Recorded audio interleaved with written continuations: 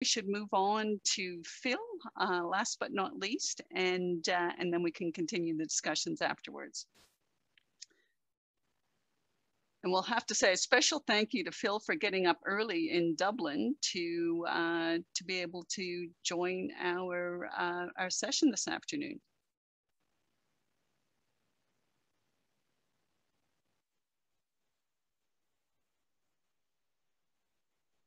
Okay, Phil? Oh. Do you want to try screen sharing again, Phil?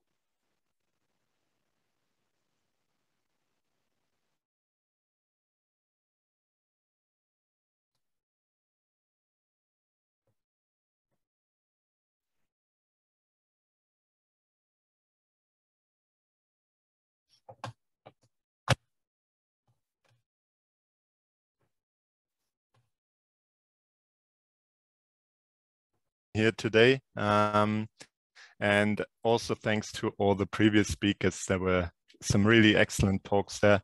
Um, also, my apologies if my mind isn't the sharpest today. Um, as you just said, um, I my, my, alarm clock got off a bit earlier than it normally would on a Thursday. Um, so anyway, uh, I want to talk with you about the rare earth element geochemistry of carbonate minerals at the George Fisher deposit and how we may be able to use that to determine hydrothermal alteration. Um, this is part of my PhD project in which I was supervised by Joe Magnall and Sarah Gleeson. Um, and before we get started, I'd also like to acknowledge um, all my co-authors and the geology teams at Mount Isa Mines for the great support throughout the project.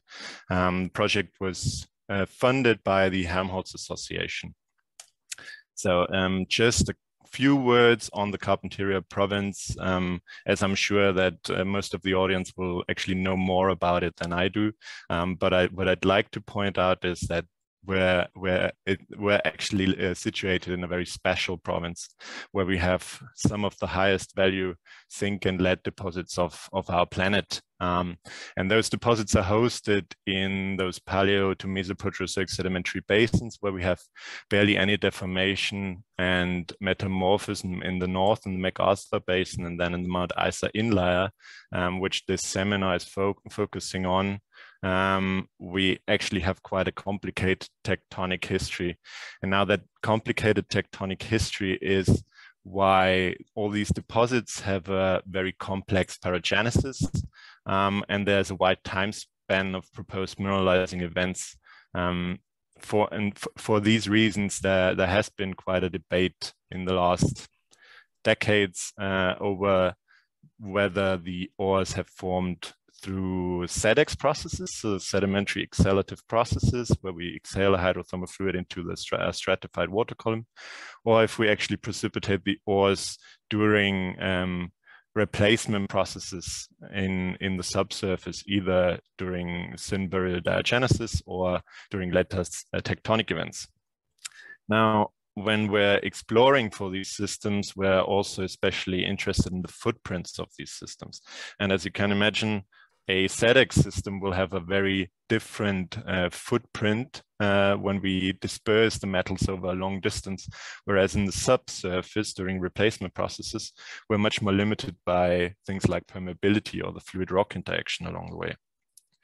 Now, um, a lot of the footprint studies in the Carpentaria have been based on the SEDEX model. Um, and in a nutshell, SEDEX model would include that we're co-precipitating um, our base metal sulfides with fine grain pyrite and also with carbonate minerals. Um, and then it's been recognized that if this is the case, if we have a SEDEX system, we would have a fine grain pyrite halo around the ore bodies as well as a ferromanganese carbonate halo around the deposits.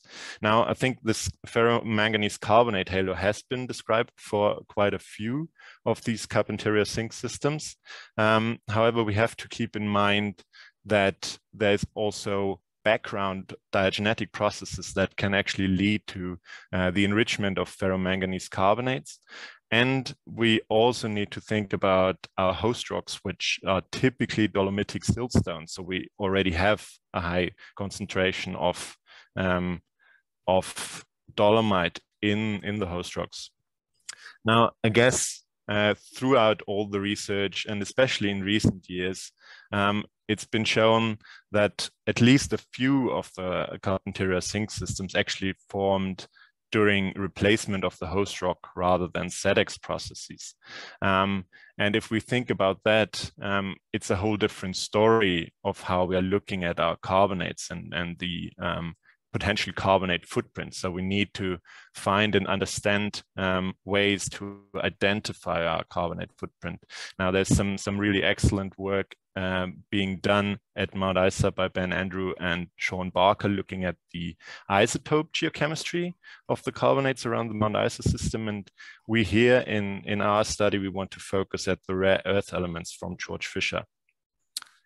Now, um, let's zoom into the project area. Um, we're situated uh, near the town of Mount Isa, where we have the Urquhart Shale Formation. Um, previous talk by Ali was was giving quite a quite a nice introduction into the Urquhart Shale, so I'll keep it brief here.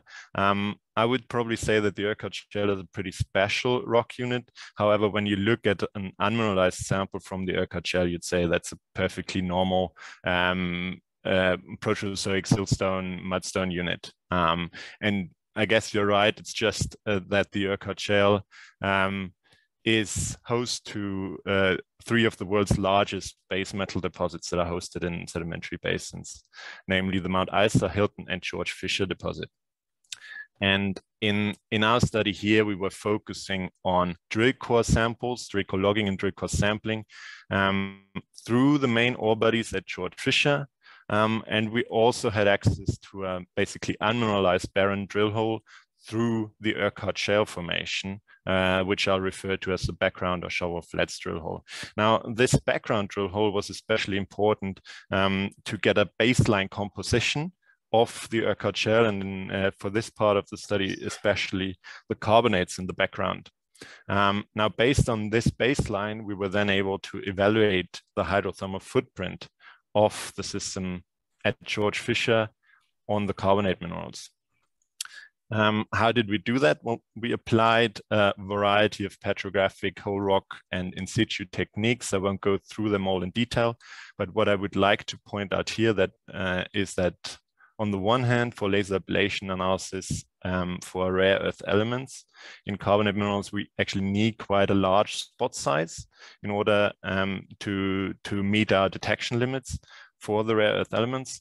Um, and then I would also like to point out that when we're using in situ techniques and whole rock techniques and we try to combine them, we actually need um, to go up and down in scale using our petrography to combine it with the whole rock data, uh, as for example here, the um, whole rock quantitative mineralogy done by XRD.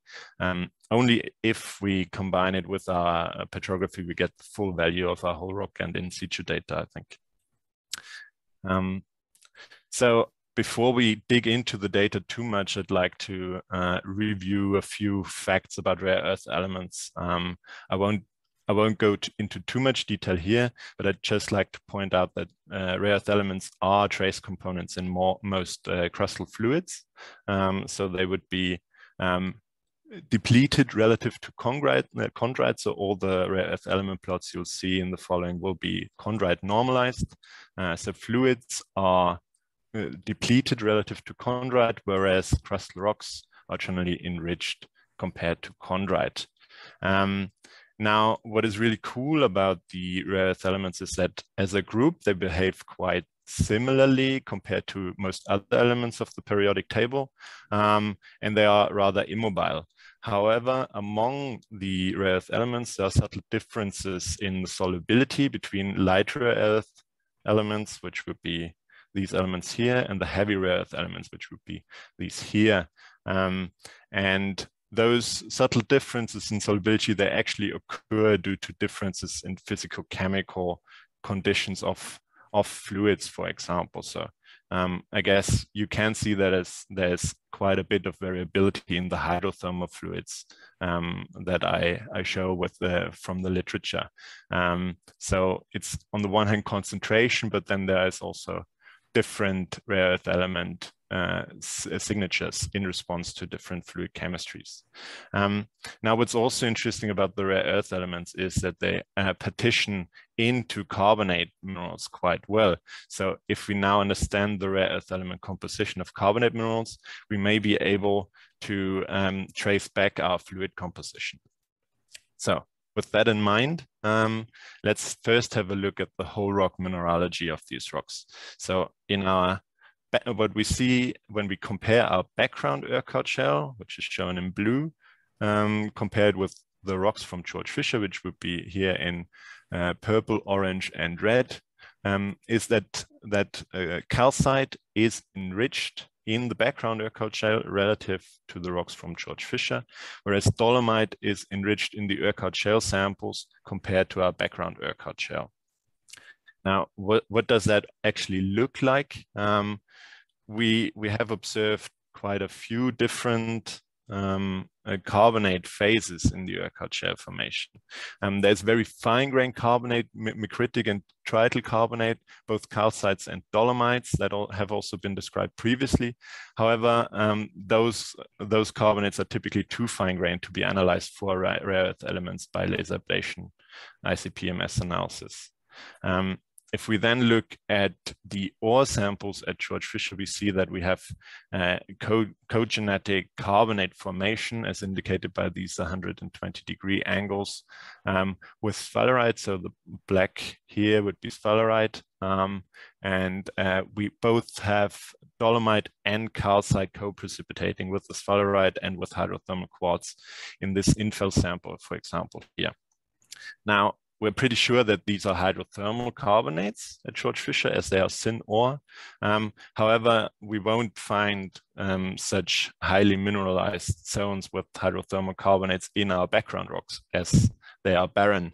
Um, so we actually, if we want to compare our background to our mineralized samples, um, we need to look somewhere else and those would be the nodular carbonates.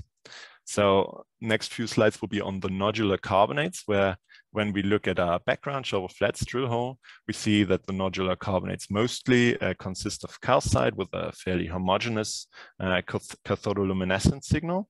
Um, and then when we analyze our rare earth element composition of these um, of these carbonates, we see that we have light rare earth element enriched um, signatures compared to chondrite. And those are fairly similar to the respective whole rock analysis of this of these samples, um, and also similar to um, shale standards as the post-Archean Australian shale. Now, if we look at nodular carbonate samples from the George Fisher deposit, what we see is that we have um, sphalerite replacing the carbonates, and we here have also much more dolomite um, than compared to our background nodular carbonates. Um, what we also see is that we have quite a heterogeneous uh, cathodoluminescent signal, and what's interesting now is that we have quite flat light rare uh, we have light rare earth element depletion and quite flat rare earth element signatures both compared to our um, shale reference values, but then also to the respective whole rock and compared to our background um, carbonates, which would, would be more or less like this. Um, so now this light earth element depletion is actually a common feature of not only the nodular carbonates at George Fisher, but also of all the hydrothermal carbonates at George Fisher that we analyzed. Um, so this would be a median through all the hundreds of laser ablation ICP-MS um, analysis that we did. And what, what, what is quite clear here, I think, is that the George Fisher carbonates are light rare element depleted relative to the whole rock from George Fisher and the whole rock from our background drill hole, um, but also to our background pre-ore carbonates. And I think this would indicate that our pre-ore calcite, our pre-ore carbonate, was uh, more sensitive to the hydrothermal alteration during the mineralizing event. And this um, will have led to calcite dissolution and dolomitization of pre-ore calcite, and also that light rare earth element depletion in those neoformed carbonates. Um, you may ask now what, what actually caused that light earth element depletion. And I, I have to say there are multiple ways of how you can produce that. But what made the most sense to me um, is that we're looking at saline fluids. And actually in recent years, there have been a couple of studies looking at uh, numerical, both numerical modeling and also experimental work, um, which have shown that the, especially the light earth elements are fractionated in saline fluids. They are more soluble in saline fluids compared to heavy rare earth elements. And as a result, um, saline fluids will produce hydrothermal carbonates that are light earth element depleted, which would actually quite nicely explain our light earth element depletion in the George Fisher carbonates. Now, um, is that actually useful to determine our alteration footprint? I guess um, we have to investigate these systems in in the 3D space. And George Fisher is perhaps not the best place to do that because we don't have the spatial coverage. And as you know, uh, there's quite a bit of deformation in the area. Um, However, if we would take this to a uh, fairly undeformed system. And we would look at the carbonates in the host rocks, but then also in, for example, in distal veins to these systems, we may be able to test this hypothesis if we see um, light earth element depleted carbonates around the system, which would indicate uh, saline hydro hydrothermal fluid interaction. So with that, I'd like to leave you here. Um, and I hope I could convince you that rare earth element chemistry of carbonates can be useful um, to determine hydrothermal alteration and may aid future exploration programs in the Carpentaria province. Thanks very much. That was an excellent talk. Thanks, uh, thanks very much, Phil. Um, well, we're waiting for uh, the attendees to uh, come up with any other questions. Um, I just wanted to ask, are you continuing on with any further work in this area uh, as a follow-on from your PhD, or have you jumped on to work on uh, different things at the moment? Um, there's a bit more um, data floating around that I'm, I'm writing up. Um, so hopefully soon there will be a paper on pyrite geochemistry, um, in situ geochemistry from George Fisher. Um, and there's a bit more laser data that we could work on, but I'm uh, now based here in Dublin to work at iCRAG, um, where I'll be looking at 3D modeling of the Black Angel deposit in Greenland. Um, so uh, still uh, basin hosted zinc lead, but in a, a, a bit of a different climate, I guess. Yes, yes, exactly. Um, and so I know that was one aspect of your PhD work. Were there other aspects that, um, uh, in terms of halo definition, other insights from some of the other work on your PhD that would um, help with exploration and halo definition? Um, yeah, I, I, would hope so. So what, what we also did. Um, I guess I touched on it a little bit. We looked at the whole rock um, mineralogy and uh, chemistry of the rocks. Uh, again, comparing our background um, unmineralized drill hole to the rocks at George Fisher. Um, and what we found is that we, we generally have calcite and albite and chlorite um, depletion at George Fisher, whereas we see dolomite or ankerite um, and phyllosilicate enrichment at George Fisher. Um, and that could be linked to um, trace element um, geochemical uh, depletions or enrichments at George Fisher that we could potentially use um, by an alteration index, for example, in future lithogeochemical projects. Excellent, thanks. Uh, we have a question here from Rob Rutherford have you considered looking at the siderite alteration around Century? Um, no, well, it would be it would be interesting to to look at Century, and as I said, um, there are many um, many of these deposits have um, have been studied in terms of their carbonate halos and been observed anywhere. Um, I think Century would be a, a, very good place to look at a fairly undeformed system. I guess that's where that uh, question is, is aiming at. Um, however, with siderite, there's a problem that siderite doesn't incorporate so much rare earth elements. Um, the rare earth elements mostly substitute for the calcium in the crystal lattice of carbonates. And in, well, in siderite, we don't, we don't really have any. Um, so yeah, it. I think Century would be a cool place. However, siderite might not be the right mineral to to try it. Excellent. And I just see there's a, a question in the chat from Lucy Chapman. Very interesting, she says. And straight up, have you paired this up with the ferroan carbonate ankerite and siderite zones? Um, yeah, so uh, similar answer probably. Thanks. Yeah, thanks, thanks, Lucy. I, uh, I, um, yeah, I guess, I guess it's a similar answer. You can, um, I mean, in ankerite and and dolomite, you can analyze the the rare earth elements, um, and uh, yeah, so we we did analyze the dolomites and ankerite at George Fisher. Um, I guess Lucy's maybe aiming at the fine-grained um, carbonates, ankerites um, that she described. Um, and those were too fine-grained for us to analyze. So I guess those would be um, in in the matrix more, and then, then uh, yeah, micritic um, cements. So it, it, would, it, would, be really nice to do that. Um, and I try to do some analysis using the electron microprobe. Um, but then the detection limits were too too high for us to get down to the rare earth elements there. So it's a bit problematic. I think there is potential there when our uh, analytical techniques improve. Excellent. Well, thanks very much, Phil. And again, thanks for getting up early to join us. And I'd like to... My pleasure. Just oh, sorry. Before you finish. Um, yeah, really interesting. Um, the, the, um, I, you know, I, leaving aside the the manganese, you know, whether manganese carbonate is, I mean, I think the exhalative versus replacive argument ended a long time ago, um, 20 years or more. But the uh, the the when you look at certainly the you know what what we've done in the in the area that starts from the south of Shovel Flat and goes all the way to Mount Isa, um, you wouldn't look at Shovel Flat and say it's out of the halo.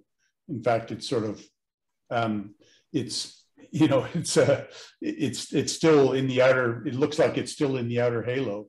So um, um, maybe it's maybe it's in the maybe it's out of the rare earth halo, but it's certainly not out of the not out of the um, sort of what you would empirically say is the halo of the of the deposit. So I'm not just if you I wondered if you had any comment on that. Um, yeah, I think I think you're you're right. I mean, these these systems are, are just so huge, and it's actually I guess it's very difficult to get um, completely unmineralized or completely unaltered rocks. So then it's going to be an issue of um, what uh, what we're looking at, what minerals we're looking at, what has been affected uh, versus what what hasn't. And I think that's where the rare earth work could help because um, we I think we may need to um, alter the carbonates more uh, more intensely than other minerals perhaps um, um to change the rare earth element chemistry. Um, and then I think even if there is some hydrothermal overprint at our Shovel Flats hole, um, it would still be our least altered uh, least altered example of the Urquhart shale, and that's really then the best we can do, I guess.